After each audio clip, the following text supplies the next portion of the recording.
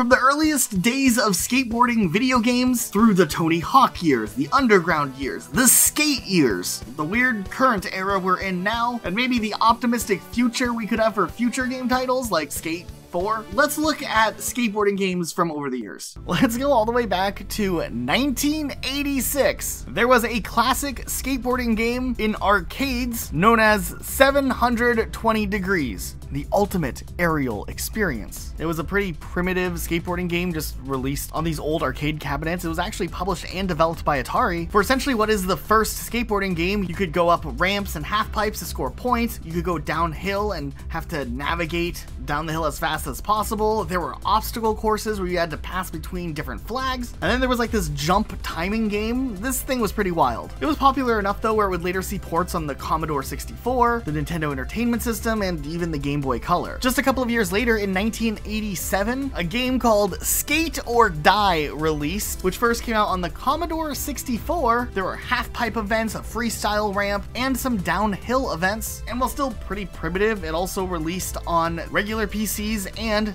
later on the Nintendo Entertainment System as well. But honestly, a name as rad as Skate or Die just kind of screams those late 80s, early 90s, though I don't think there's ever like a threat to die in the game, I'm just saying. In 1994, Activision published a game known as Radical Rex. He's my real cool Radical Rex. Radical Rex. Essentially, it was a dinosaur that could skateboard. The game was pretty average, I guess. But it had a fire breathing dinosaur, so how mad could you get? And then by the late 90s, as video game skateboarding popularity was starting to rise, Thrasher themselves teamed up with Rockstar Games and developer Z-Axis to create a realistic 3D skateboarding like game in a game called Skate and Destroy. Okay, honestly, this game gets points just for having a name as metal as Thrasher's Skate and Destroy. It sounds like a Call of Duty game type. Now, this game was actually praised quite a bit because it had more realistic controls. It was one of the first games to utilize ragdoll effects, and honestly, the game wasn't all that bad. However, it released at the same time as Tony Hawk, and Tony Hawk had a very easy entry-level pick-up-and-go arcade gameplay-like experience, and this one was a little more realistic, making it take a little bit longer to master, and you'll see why Tony Hawk ended up just becoming so successful in the late late 90s. But Rockstar weren't the only ones that realized that this market was growing, and Activision assigned the studio Neversoft to start working on a skateboard game to be ready by holiday of 1999. The team got to work picking out locations for the game and developing the core arcade mechanics, where players could control the rotation and the flip and grab tricks of the controlled character. And over time, the level design was streamlined into less of a linear racetrack type level and more into an open skate environment.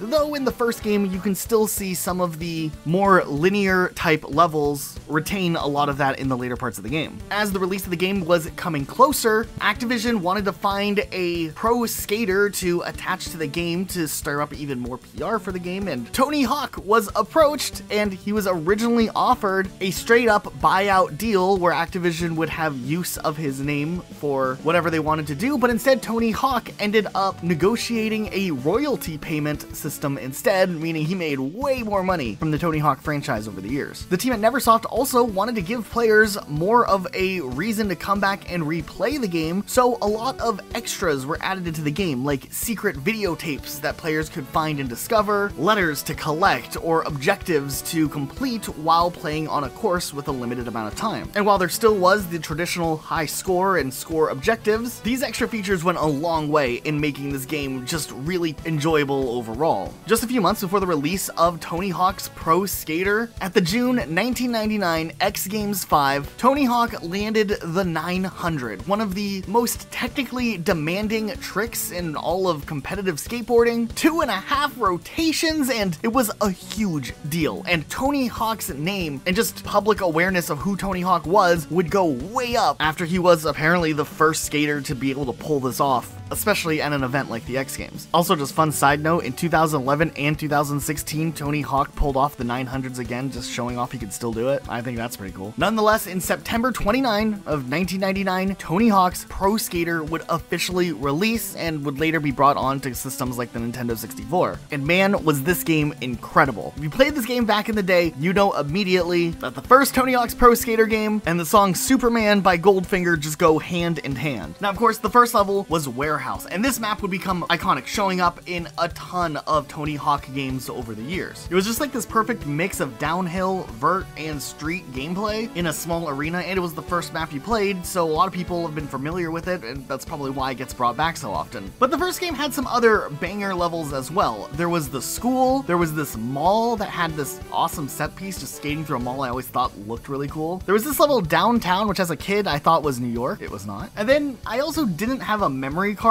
when I was little, so we would just try to get as far along in the game as we could without saving. And sometimes if we had a really good afternoon, we could make it as far as Downhill Jam, which was also a pretty cool level. Tony Hawk Pro Skater became a huge success, and just one year later, a follow-up game, Tony Hawk Pro Skater 2, would be set to release. This game essentially was an enhanced version of the original game, but with more things like customizable characters, brand new locations, more celebrity guest skaters, and then a map designer, which would become a staple across not just Tony Hawk, but the entire skateboarding genre. Like, that was a big selling point of other skateboarding games like the Skate series down the road as well. And of course, Tony Hawk's Pro Skater 2 had some great locations as well. Like, it had this hangar, it had School 2, which was like the first school, but different. This time around, they actually had a map in New York, and you know what? I don't remember ever playing this one. This map called Venice is this interesting location in California known as the Pit that was actually torn down right before this game came out and was later replaced with a little skateboarding park. But it was kind of interesting how they were able to preserve this popular skateboarding location in the real world with a video game. Also, there's a magic homeless man on this level. Now, the coolest part about the first two Tony Hawk games were back in the day, if you did make it far enough into the game to the end, you would also unlock some pretty cool levels. Like in Tony Hawk 1, you had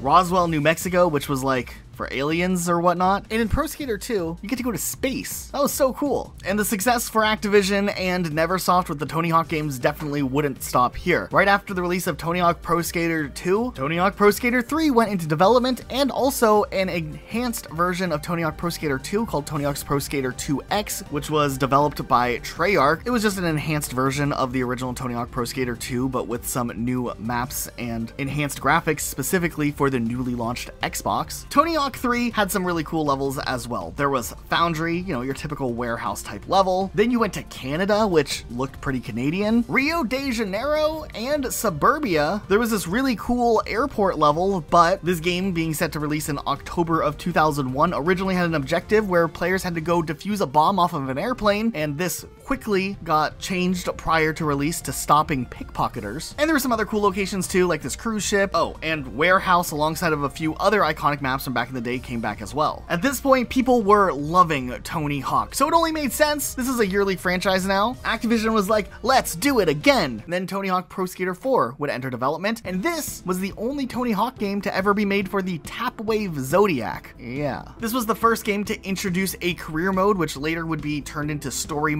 of later Tony Hawk games. And what's interesting is the Tony Hawk franchise would pivot a bit after Tony Hawk Pro Skater 4, but it seemed like Activision and Neversoft really just hit the nail on the head with Tony Hawk gameplay and features that they had the groundwork down perfectly to go and expand on a lot of the ideas that made Tony Hawk so successful. I mean, Tony Hawk 4 had some cool locations in this one too. Like there was a college with a big area to it. You go to San Francisco. There was Alcatraz, like the prison island as a level. I mean, this is like Mob of the Dead all over again. Actually, this was a great idea for a map in a Tony Hawk game. There was this level called Kona Skate Park that takes you to one of the most terrifying places in the world, Florida. We get to go to London, and then we get to go to a zoo in London, and this weird carnival, which I think might be in Texas. Now, depending on which game system you had, you might have had some levels omitted and maybe even had extra levels that weren't in the newer gen versions of the game. Like if you're still playing on a PlayStation 1 at this point, you had this one level that made us feel really, really small. And I just think that that one's kind of interesting. Now, after the release of Tony Hawk Pro Skater 4, Activision would want to push the boundaries as what Tony Hawk Pro Skater games could do and look like. And they would make some pretty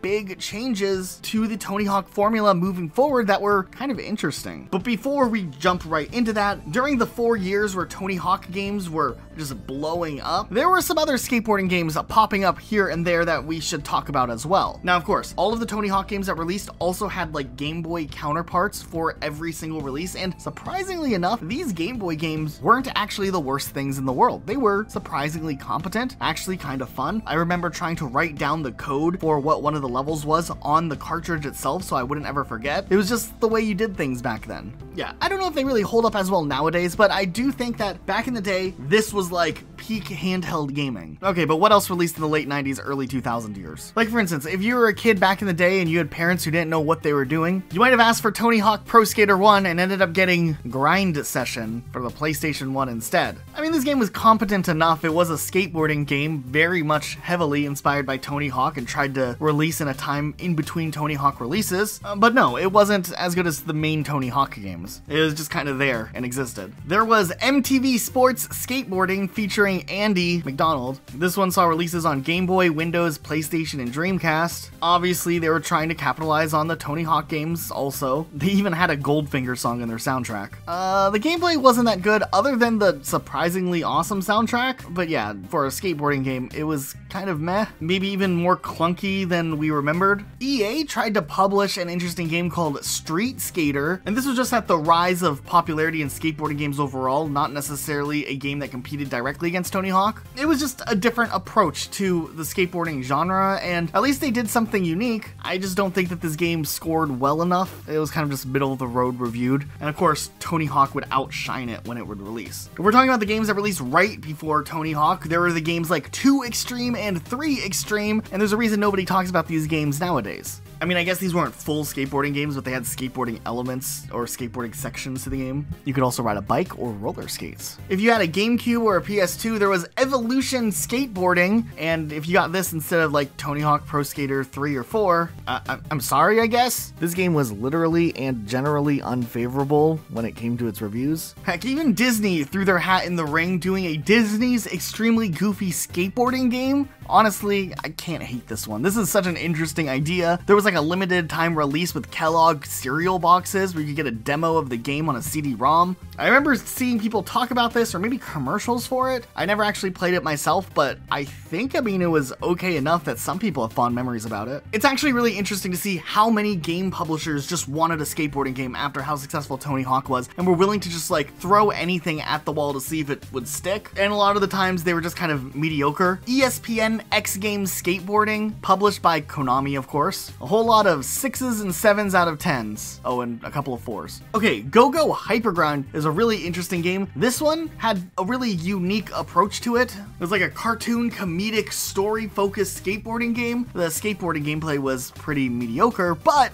at least it was something different from what everything else had been. Okay, so I know this next one doesn't count as a skateboarding game, but when else am I going to have the opportunity to talk about Razor Freestyle Scooter? Yeah, it was a scooter game very heavily inspired by the Tony Hawk games and the popularity that was with those, except instead of skateboarding, you have a Razor scooter. Look at this, this is incredible. Now here, let me sweeten the pot a little bit about this game. This was a Blockbuster exclusive game, so you could only rent or buy it at Blockbuster video rental stores. And honestly, I unfortunately only ever got to play this game like one time as a kid. I don't even remember where I was. I just vaguely remember playing this game somewhere that wasn't my house. But coming back and getting to play this game nowadays? Oh wow. Look at this. You get to choose between a couple of different pictures of Razor scooters. It's just the color. But look at this. These scooters are special scooters because those handles are definitely way better than any of those non-waterproof handles we had as kids. You drop your Razor scooter in a puddle or leave it outside at night, it's like holding a cold wet sponge the next day. And then they like rip and they tear and they start to come off. I'm getting distracted. Back on topic. Honestly, this game's interesting. It definitely doesn't play well like the Tony Hawk games. It feels much much slower. I don't know if it's because of the fact it's a scooter, but the tricks definitely feel a little less cooler, and our characters just seem so massive for the scooters. I don't know, there's just something weird about doing a one-hander. It's like, was that actually a cool trick? Really? I don't know. This game was interesting though. The soundtrack was kind of a banger, at least on the PlayStation and Dreamcast versions. I don't know, the N64 versions don't have like lyrics or anything.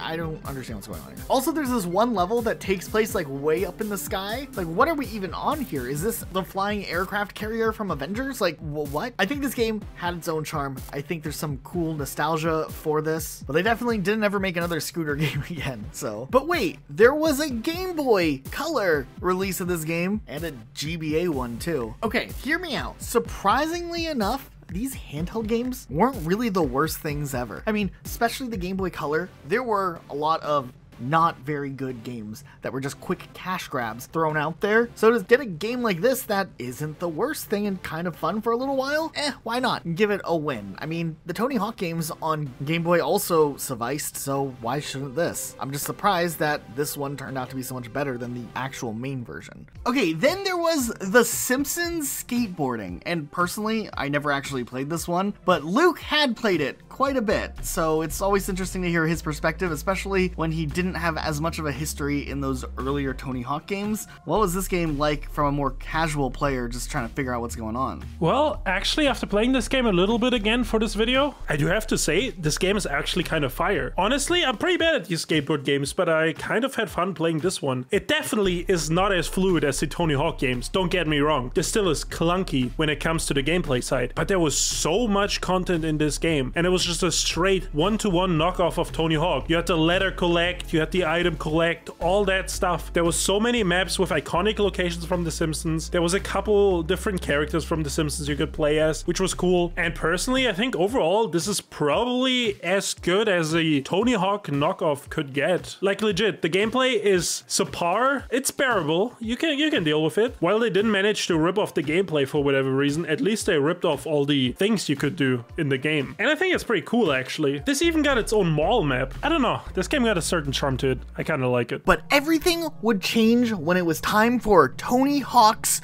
Underground to release. There were two of these games, Tony Hawk's Underground and Tony Hawk's Underground 2, and man, were both of these games bangers. Okay, so first of all, it took the core aspects that were awesome with Tony Hawk Pro Skater 4 and then just like built upon them. These games were way more narrative based, where you got to make your own skater and customize the way that they looked, and then you progress through a narrative experience. And then one of the biggest things introduced here were the facts that you could walk around and just get off your board and go walk. I know it sounds like a really thing, but this actually was huge. Before, the Tony Hawk games were so focused on that arcade gameplay that sometimes if you're trying to get to a specific location to try a trick or something, it could be a pain. Walking just added so much more to what you're able to do and how you wanted to approach things, set things up. You didn't have to just do it in the exact moment. This game had like the regular quests, but then also side quests. Oddly enough, this game stepped away from the traditional Tony Hawk format and made more of like an adventure game that still focused on the core skateboarding gameplay that was really well loved. Over gameplay, you can level up your stats much like something you'd see out of an RPG, and at this point, even Tony Hawk's Underground 2 did a couple of interesting callbacks to older Tony Hawk games, bringing locations that were popular in the first couple of games to the forefront here, which was awesome. And while most people can usually agree that the story in the first Underground game was probably better than the second one, where the second one kind of just took things to a whole nother level, man oh man, Activision should bring the Underground series back. I think players would really like it. Oh, and there was also a PSP version of Tony Hawk's Underground 2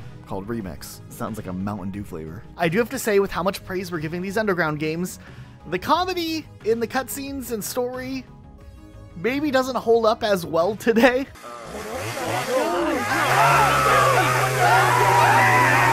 Think the last word you were gonna hear would be?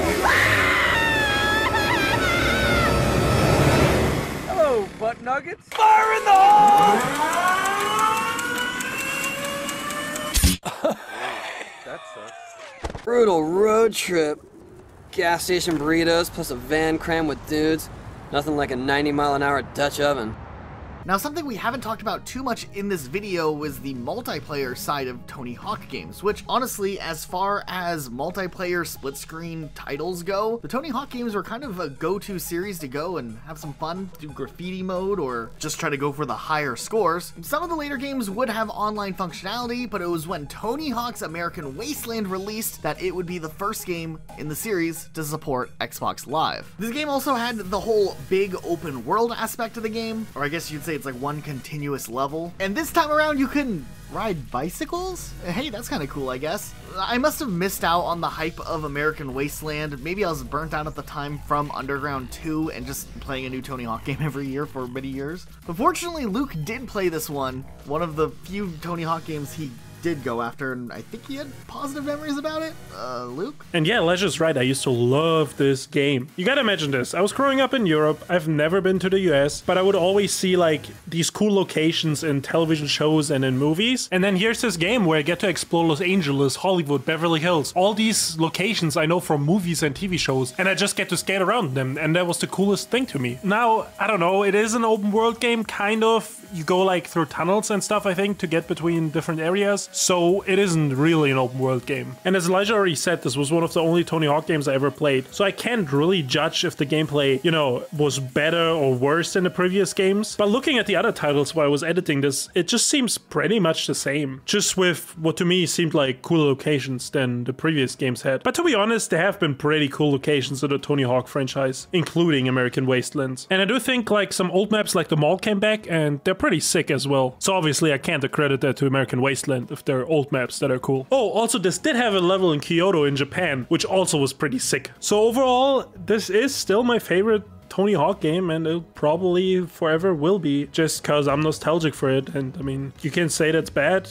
but uh, hey, it is what it is. Oh, and also before I forget, the soundtrack also was a banger. You had like Green Day, you had Public Enemy, you had Fall Out Boy, and all these songs. But I can see how the soundtrack was maybe a little different from the previous Tony Hawk games, and maybe that threw off some people, but I thought it was great. Okay, you know what? Tony Hawk's Downhill Jam does not get enough love. It was one of the earlier Wii titles, and I think a lot of people just overlooked it when this game released, but for a spin off game in the Tony Hawk genre, it was actually really cool. It was like a racing game where you're obviously on a skateboard, but just the world building, the locations you go to, and the gameplay were relatively addicting, even if you had to use the Wiimote or whatever. I thoroughly enjoyed this one, playing it back in the day. There was like voice acting in it, which was interesting because the characters were so over the top, so sometimes there's like some weird storyline going on, and you're like, what am I even playing? And you tie that together with this weird gameplay, and you are on like a fever dream Tony Hawk skateboarding ride, and it's kind of awesome. Also, just saying, not that I need to say this for every Tony Hawk game because Tony Hawk just nails the soundtrack usually, but this game's soundtrack also, alongside most Tony Hawk games, was pretty great as well. Seriously, don't sleep on Downhill Jam. It's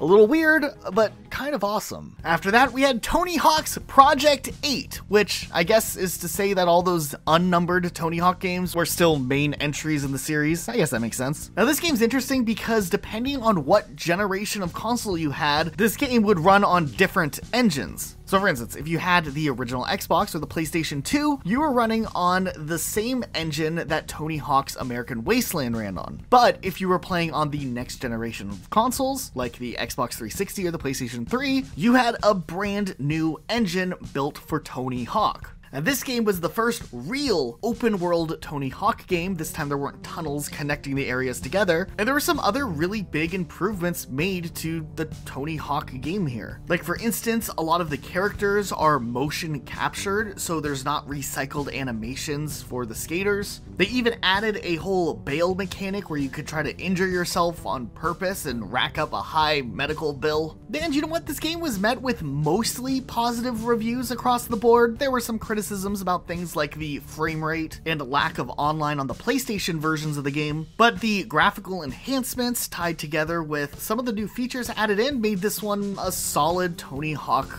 title, even if Tony Hawk fatigue was starting to set in. And then just a year later, we'd have another Tony Hawk game in Tony Hawk's Proving Ground, which I guess is Tony Hawk 9. This game was a lot like the previous Tony Hawk game, except was kind of more of a return to the classic arcadey type gameplay that was popular back in the day. It retained a lot of the features from the newer games over the years, which was good, and the story mode had different types of goals that you could go after. Multiplayer was finally added to PlayStation, but I think this game was ultimately criticized for not changing enough from the previous title, along with the fact that this was still releasing on the previous generation of consoles with way more watered down versions of the games. So the reception was kind of all over the place. Some outlets loved it, others were a little more harsh on it. Nonetheless, though, it was pretty clear that Tony Hawk being a yearly release was starting to get really tiring for the fan base, and I think the sales started to reflect that. Okay, so the late 2000s were a really weird time.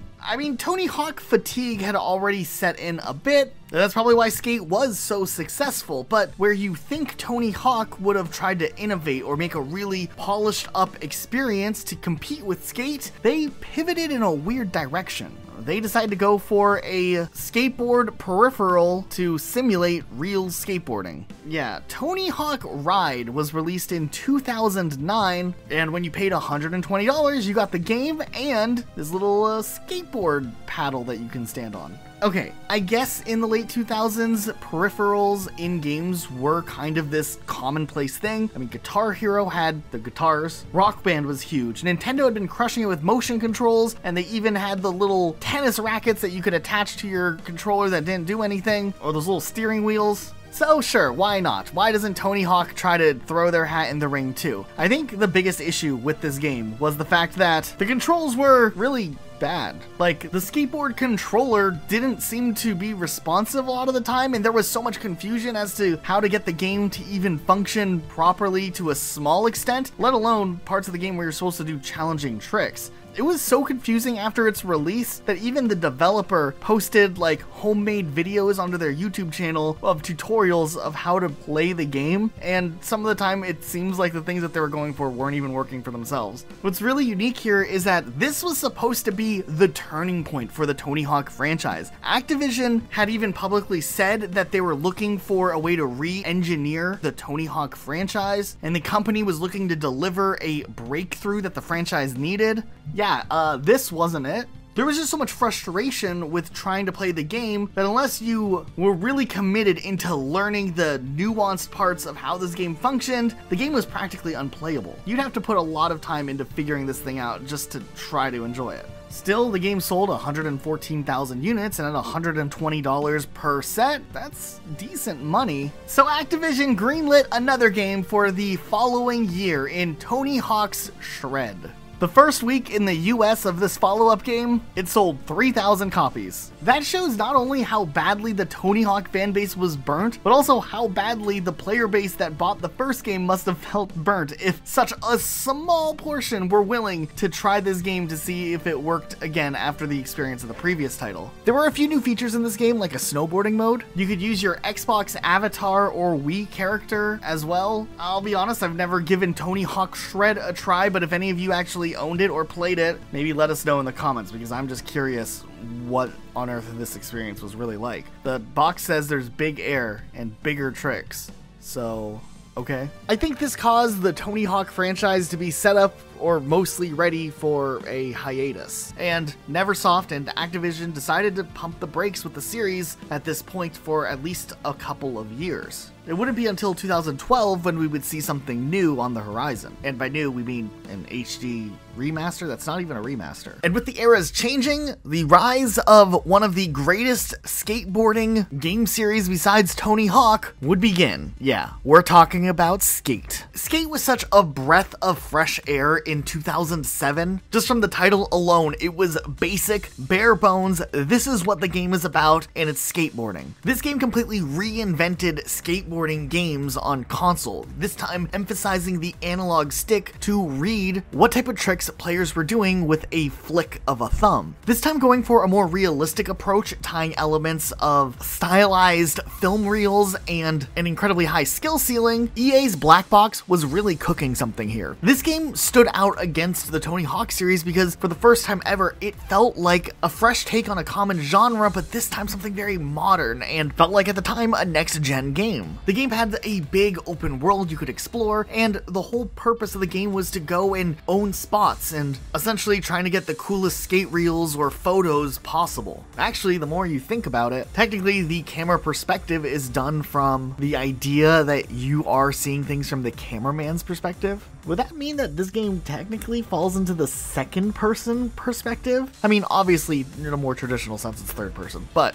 you get what I'm saying. Our camera guy is an actual character. This game also introduced Hall of Meat, which was a separate game type than the typical skateboarding game types that are out there, like High Scores or Skate Pig Horse, whatever you want to call that game type. Hall of Meat was all about doing the opposite, injuring yourself in the best way possible. It was pretty awesome. You would have to try to like wipe out really badly, and then it would tell you your score, and it was built into the main game mechanic, but this would become like a multiplayer mode that was really fun also, and really extreme by the end of the trilogy. Here's the deal Skate was good, but Skate 2 was amazing. Skate 2 essentially took all the working elements and pieces that Skate 1 had done well and just evolved the entire franchise. There were new tricks added into the game for the first time ever you can actually get off of your skateboard. And man, were the grab tricks in Skate 2 just really, really good. Skate 2 gave you complete freedom to flip however much you wanted, even if it meant you probably weren't going to make it or land. It just added this risk reward function into the game that was really awesome. I played a ton of multiplayer with Skate 2, and there was a strong Skate 2 community through and through its life on the Xbox 360 days, or PS3 if you're that kid. If you were a player back in the day, you know exactly what I'm talking about. We're talking Skate 2 Fun Track.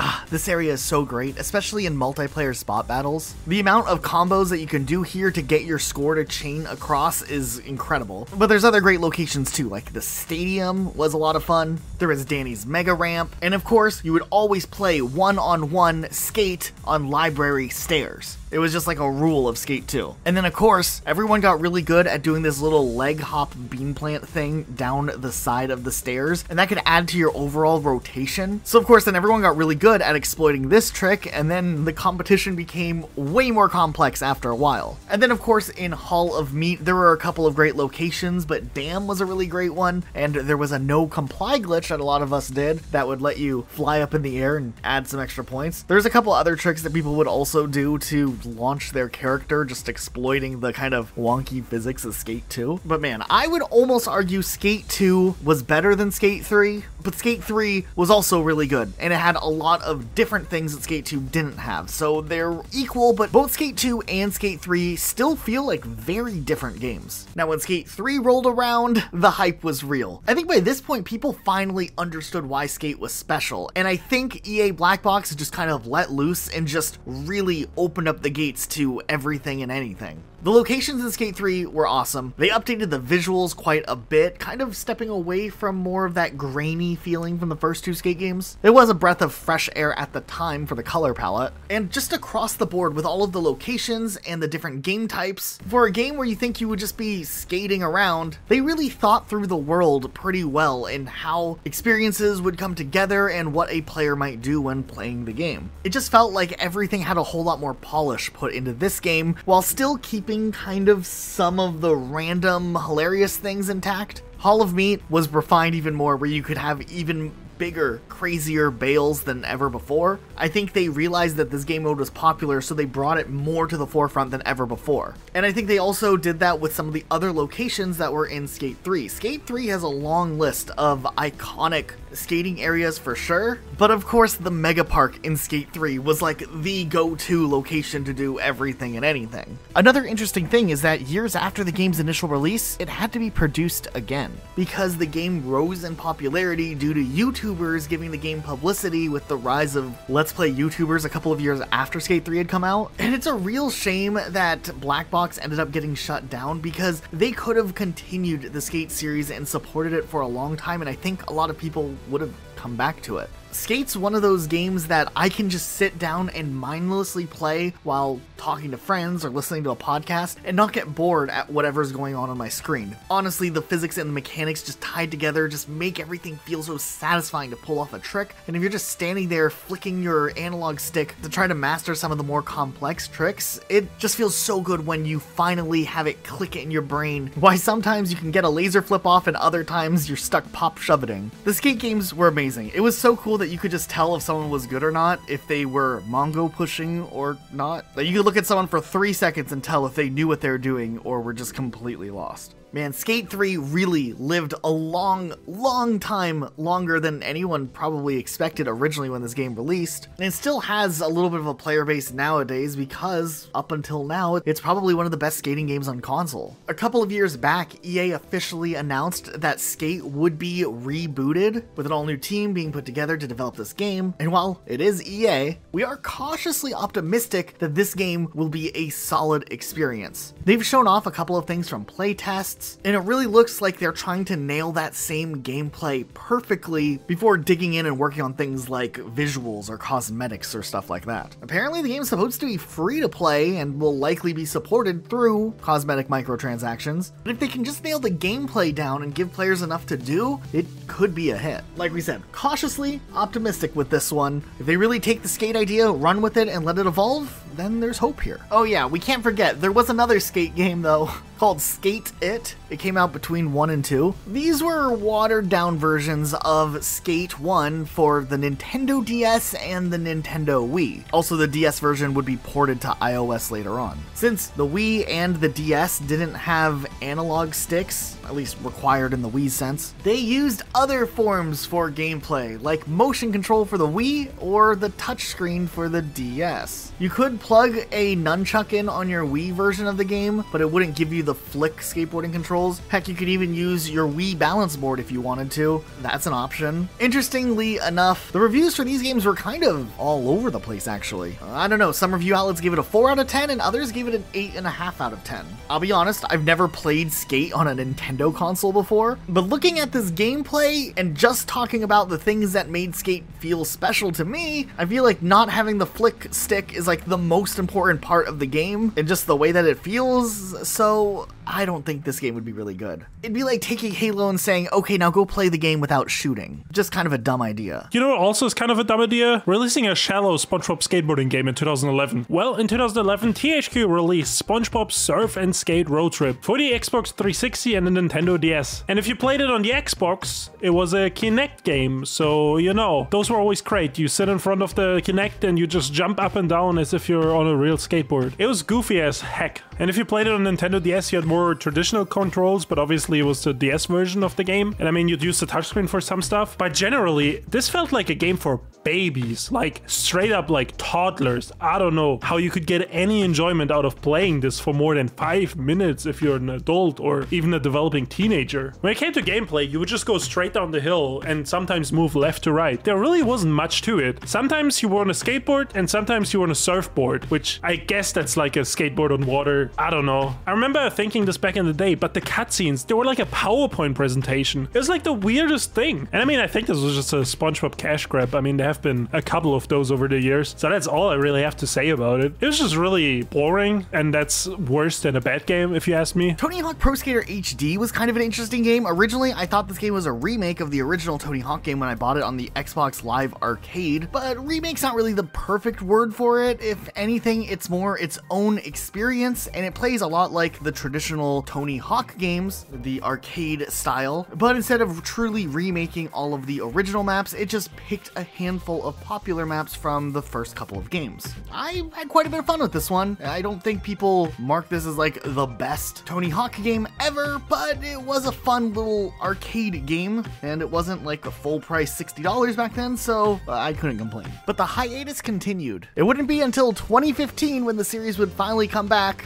probably in a worse state than ever. Now, we already talked about Tony Hawk's Pro Skater 5, which released in 2015 in our video on games that killed game franchises. But yeah, this game was very, very rushed. It had an 8 gigabyte day one patch. The gameplay itself didn't look that good in the initial trailer showing off the game, so later a cel shaded art style was applied to maybe mask the gameplay. The game was rushed all because of a deal with Tony Hawk and the likeness being set to expire that Activision just wanted to pump this thing out as quickly as possible. I always found it kind of interesting though that they opted for going for the title of Tony Hawk Pro Skater 5 when very clearly Tony Hawk Project 8 was signifying that it was the eighth game and then there was a ninth game after that. So this would have likely, if we skipped the spin-offs, just been Tony Hawk 10. Instead, they went all the way back to Tony Hawk Pro Skater 5. I mean, I guess they were trying to market it as a return to form for the series, but all they really had to do was market this game to their hardcore fan base of the older games, and that hardcore fan base definitely knew that Project 8 was a reference to it being the eighth Tony Hawk game, I guess. So the 5 was misleading on both fronts of the hardcore fans and the casual audience, and then the game was bad. It didn't even live up to the expectations set from Tony Hawk Pro Skater 4 in 2002. But man, oh man, was this such a disappointing title, and it was kind of just the last new Tony Hawk experience for a long time and the last taste that anyone would have of the series until at least 2020. And you know what? Tony Hawk ended on a really bad note with Tony Hawk Pro Skater 5, and then all of a sudden the script would be flipped when we got something really, really good actually. Tony Hawk's Pro Skater 1 and 2, developed by Vicarious Visions, who back in the day did the handheld versions of the Tony Hawk games, so at least they were a part of the original yearly developments of Tony Hawk games. And Tony Hawk's Pro Skater 1 and 2 was a full, from the ground up remake of the original two games. Honestly, I was incredibly impressed with this game. It was a true to form Tony Hawk game built in the Unreal Engine, and it played pretty much just as well as the old Tony Hawk games did, but a lot of those rougher edges from back in the day were smoothed out gameplay wise. All of the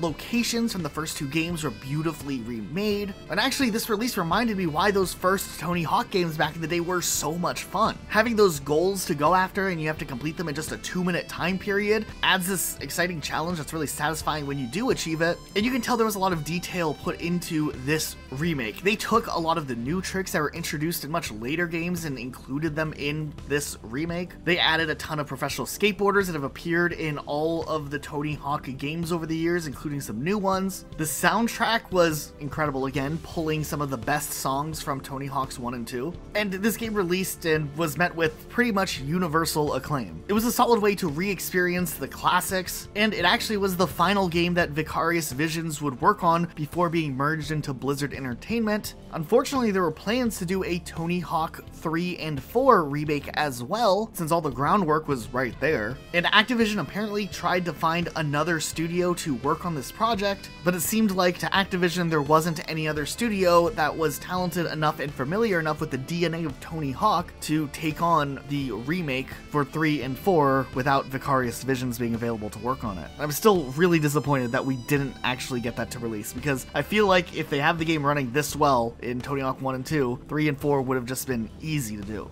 Man, Vicarious Visions has had it tough over the years with canceled games. They had their Call of Duty Roman Wars canceled, they had Guitar Hero 7 canceled, they had a Crash Bandicoot and a Skylander game canceled, and now Tony Hawk 3 and 4. But honestly, that's where we're at now. There's still a lot of fans who would love to see this remake come to light for 3 and 4, but at the very least, if we're going to enter another era of hiatus for the Tony Hawk side of things, the game's ended on a high note, unless we count, you know, these like little mobile cash grabs that have come out periodically. And I mean, that's at least better than Tony Hawk Pro Skater 5 being the last taste fans would get for the series. After all of this, the future years of the skateboarding genre really wouldn't be all that impressive. Matter of fact, there's only been a handful of skateboarding related things that are out there. A new studio known as Creature Studios entered the fold and began working on a project known as Session. And honestly, everything that they showed off in the early days to them setting up a Kickstarter for their game looked really, really promising. Actually, it felt like it was heavily inspired by Skate, and it had been years since a Skate game had released, so this had potential to be a spiritual successor. The only problem here, really, with Session, the gameplay was just a little bit too different, and then there wasn't a whole lot to actually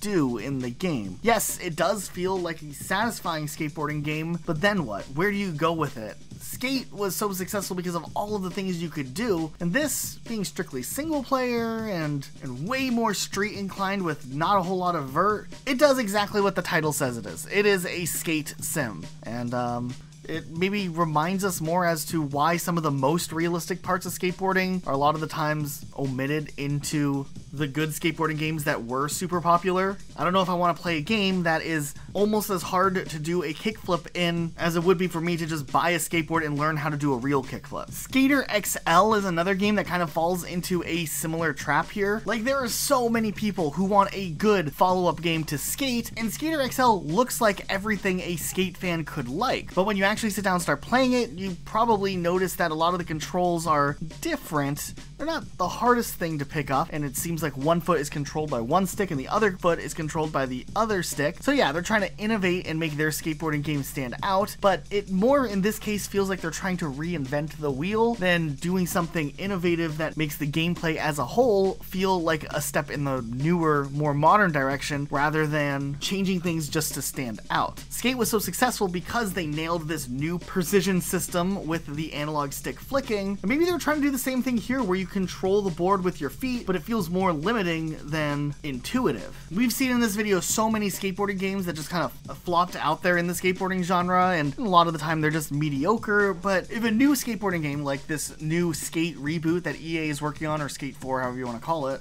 is going to be successful, it's going to have to do things like take the great control scheme from the Skate trilogy and apply that to a new game world that's very much so built from the ground up with the skateboarding mechanics in mind. And then after doing all that, they're also still going to have to build out the world so there's a lot of engaging things to do in the world. I think it's like some of the gameplay factors were fleshed out for things like Sessions or Skater XL, but once they had the base game working, it seemed like the game went straight to release rather than then building a game where there's a lot to do and things to experience based on the locations and the world that has been built for the game. Also, we didn't touch on this one earlier on, but back during the Xbox 360 and PlayStation 3 era, there was a Shaun White skateboarding game. Yeah, it was kind of an interesting concept considering Shaun White is known for his snowboarding and he had multiple snowboarding games. For whatever reason, they're like, hey, put him on a skateboard. Why not? And then we got Shaun White's skateboarding. Now, this game's interesting though because it seems like for the most part, reception's all over the place. People initially, when this game released, didn't seem to care for it, but then over time, it seems like there is a sentiment from a community that really did enjoy the game. Fan response is kind of all over the place, but it seemed like some people did really enjoy this game. I never got to play it, so I don't know if it's a great game, but it exists.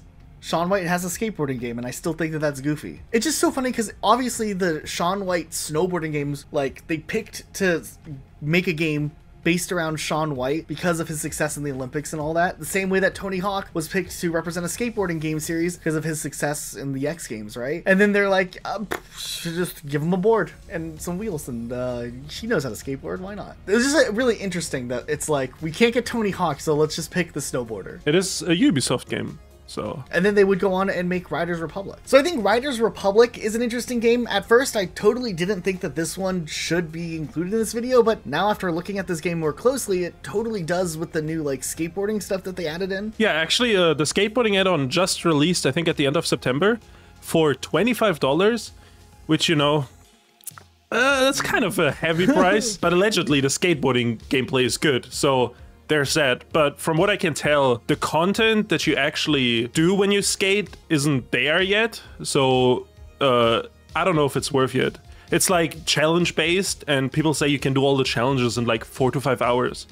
So from what I can tell, it's like $25 to skate around for four to five hours. I don't know if that's worth it. I haven't tried Riders Republic yet, but I always wonder if it's actually ever worth the price tag it's always listed as. It's kind of a pricier game I, don't know though. Maybe it is really good. I mean, there's always chance that they add more maps for the skate DLC, so maybe it's it'll be worth it in the future. But I'd say right now it's probably a little overpriced. But you know those Ubisoft games, they do always go on sale eventually for like a price where you're like, hmm, maybe, maybe it's worth it. Uh, there's also the Ollie Ollie games. I don't know if you've heard of these, or Ollie World. I've vaguely heard of them. It's a little bit more of like an indie game. Uh, they're they're pretty cool. They're very like artistic in a lot of the like coloration and the animation. It's very different from a lot of the skateboarding games we've talked about today so far. The game's more of like a side-scrolling approach, and it's not really reminiscent of like a Tony Hawk game or a skate game. It's just a, its own thing, but it's really kind of craftfully done. They usually are. I haven't I haven't spent too much time with these games, but from what I have played, they are kind of fun. And um, yeah, not a bad experience. Not necessarily like a core skateboarding experience, but it's still a really cool stylized one. And as they make new titles with uh, the newer one, is a lot more like of a step up from the previous game.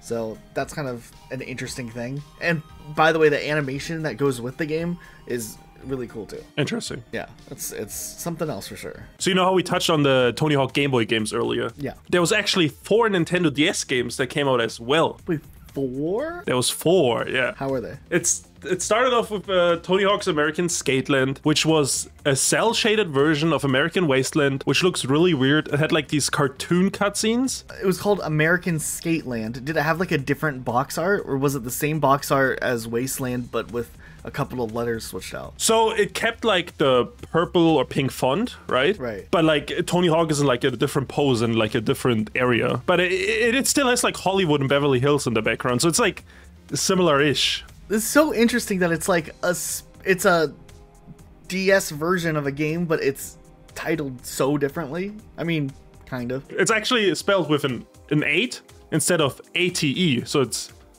S K eight land. Interesting. So yeah, I don't know. Pretty bizarre. It came out with Waste at the same time as Wasteland, but it's not Wasteland, but it looks like Wasteland from the box. Kind of, almost. Right, kind of, almost, yeah. So then we had Tony Hawk's Downhill Jam for the Nintendo DS, which honestly is pretty much the same as the home console version, but there's snowboarding in the game for some reason. So I don't know where that comes from. Honestly, I feel like with DS games in general, like 3D stuff was still really hard to do fluidly. Or I think that's the right word to use. Like, I mean, there's some games that did it well, like Super Mario 64 DS, and I'm sure there's a few other examples. But I just wonder, like, how the performance of Downhill Jam was on the DS versus the Wii version, because the Wii version was still kind of fun, as weird as it was. Um, I just I just can't envision that, especially after seeing like the Skate It on the DS, where it just looks like a bunch of pixels moving at the same time, but it tries to do the 3D thing. Yeah, all these games look pretty pixelated, and I think the Skateland one where it's cel shaded actually looks the worst because of the cel shading. I, I like it; just looks bizarre to me. Did they do something stylistic for Downhill Jam, or No, I think Downhill Jam kept like the the regular graphics that the Tony Hawk games had, just in like a low pixel version. great? Sounds lovely. But then after that, there was Tony Hawk's Proving Ground DS. But that honestly is just the same game as the home console version, just DS graphics again. But the last one was called Tony Hawk's Motion. And that one is interesting because it came with this little motion pack that you put into the Game Boy slot. And then like it you could tilt the Nintendo DS and play that way. Like gyroscope controls before gyroscope. Right. And like you would you would like turn and drive that way. And the game also had snowboarding, I think. What is the deal with the random snowboarding stuff? Yeah, I don't know what's up with that. It's kind of wild to just be randomly thrown into the Nintendo DS version. I have no idea. It's like we had Shaun White jump to skateboarding, and then we have Tony Hawk constantly trying to do snowboarding stuff. It doesn't really make that much sense. Bizarre. Okay, so I know this is one you're probably really excited to get to talk about, but Tech Deck back in the day was like the craziest thing. Maybe not the craziest thing. Maybe I'm over exaggerating a little bit. But I do remember like the little skateboards that you did with the little fingers were a big deal. They were kind of expensive too, I felt like. I feel like they're like eight dollars for like a little skateboard and like the little wheels and stuff that you could switch out. Clever idea. They got a Game Boy game. Uh, I don't know too much about it, but I think you looked it up a little bit ago. Yeah, honestly, I, I don't know what this uh, game is supposed to be. You like some like a like a naked potato sack on a skateboard. Uh, like that's the best way I can describe it. That's the Tech Deck, dude. I don't know. I mean, uh, on a tech deck. Sorry, your naked potato sack on a tech deck. But like, uh, I don't know. I mean, it looks fine for a Game Boy game, I guess. Uh, it's got a lot of locations. I think. Uh, you know, it, it kind of looks bland. Dude, do they still make Tech Decks today? I'm just thinking like that'd be something so much fun to get into. Like, should we just start like buying Tech Decks in 2023? Dude, like a like a little tech deck collection. Do you think there's like uh, mint condition tech decks that are like rated by some uh, agency? Yeah, like a PSA. That, what if they're like the next Pokemon card resurgence? Just the tech deck resurgence. Dude, it looks like they still do make Tech Decks, and for some reason that makes me less interested in getting them. I wonder if there's any like crazy crossovers nowadays. Like, you know, did Tony Hawk ever get official tech decks? You know? I'm sure he did. Oh, sorry. One thing I forgot to mention about the tech deck Game Boy game. It was also published by Activision. Oh, so they're trying to like capitalize on the whole market out there. Yeah. Okay, and then we didn't have too much time to talk about all of like the little indie skateboard games that have released over the years. There's quite a bit of them, but one of them that I thought was kind of interesting that had a lot of potential and then just didn't really capitalize on the potential was the game Skatebird. Did you ever play that? No, that sounds interesting though. I played it on Game Pass and was there for a while, and it's so close. Like so close to just like knowing what it wants to do. You play as a bird and you have a skateboard and there's like these levels you skate around in. And it feels very reminiscent to the older arcade style Tony Hawk games. And that was really cool. Except the problem with this style is like they just didn't really like see that idea through and i think like they maybe got distracted with trying to like make it over the top or whatever like i guess you can fly a little bit with your bird to make ollies and stuff better but just it just doesn't quite hit the nail on the head it doesn't have like the timer counting down that adds pressure to explore but then since you have more time to explore the areas that you explore aren't really that fleshed out either so it just feels like they didn't want to make it too challenging, but then they didn't want to make it worth like exploring. I guess if that's the right way to word it. it. It, was just close. I really, I really felt like they had something with the idea, and a lot of people were looking forward to it, and then it ended up just coming out, and I thought it was pretty mediocre. But I had hope for it. So you're saying it was like a little, it was a little underwhelming, but also pretty good at the same time. It had a good idea. Right. It just was very underwhelming and it, it, didn't live up to the good idea. I see, I see. Have you ever played any of the Tony Hawk iOS games? I looked at some gameplay when I was doing research for this video on that. Which one did you look at? The more recent one, it looks like it's like a side scroller thing. I think the side scroll was like the 2009 one, right? okay, well then that's as recent as I looked, I guess. But yeah, I think the 2009 one was a side scroller. Then the 2014 one was like downhill jam, I think, where you like just go straight, like down a map, and you like dodge left to right, you know, pretty simple. And then I think the latest one, which is Skate Jam, which came out in 2018, I think is more like the original Tony Hawk games, where like you free roam and you like, you know, have a map and you just kind of do some tricks and stuff. But I think that one is also like, it's like a like a proper phone game, like with like microtransactions and daily quests and stuff like that. You know what I mean? Dude, it's the future. We, you know, I'm actually surprised we didn't get like Tony Hawk One and Two released on iOS. I mean, we did get it on a Switch, but I'm surprised they didn't just go all out and put it on uh, mobile as well. Right. That's true. That's true. Because like there was also a time where old games would just get a random iOS release, remember? Like the GTA games? Yeah, like the GTA games, for example. And that is, uh, you know, not that far off to release Tony Hawk's Pro Skater 1 through 4 on iOS as well back then. Right. There's another skateboarding game that's really big on iOS. I just can't remember what it's called. And I know we didn't talk too much about just like all the mobile games out there. It's called Skate City. It's on like the Apple game subscription that you can pay for and get access to. And like visually it looks pretty good. I haven't sat down and played this one, but if we were looking for like a mobile skating game, I feel like that would probably be the best go-to one unless there's like some secret gem that we don't know about but i have i've at least heard better things about this game apple's pushed it quite a bit to advertise their like gaming subscription service so i mean it looks okay it looks fun i just don't know how great it actually plays yeah i mean usually apple arcade games are pretty decent so yeah like Oregon Trail. Like Oregon Trail, yeah. Okay, I think we kind of covered everything here. I feel pretty good about this video. I think we we touched on all the skateboarding games over the years. Did you have anything to add? Yeah, we should go skating. I don't know, dude. I think we should just stick to the games. I don't know if uh, we should take up skateboarding as a hobby. Anyways, guys, thanks so much for watching. Huge shout out to our patrons for supporting our channel, making these types of videos possible. If you enjoyed what you see, maybe you could subscribe. Let us know what your favorite skateboarding game was too. And we'll see you guys next time with a new video. Bye. Bye.